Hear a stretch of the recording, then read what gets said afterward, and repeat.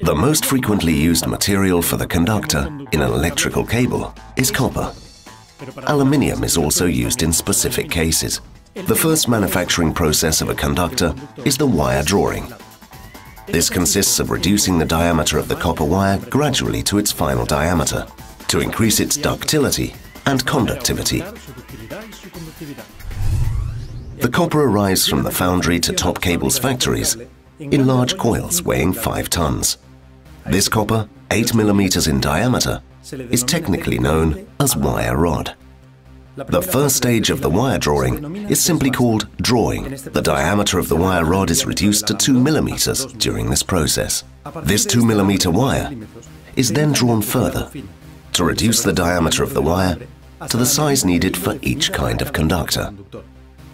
In the last stage of wire drawing, all the wires undergo a heat treatment called annealing. The aim of this stage is to increase the ductility and conductivity of the copper.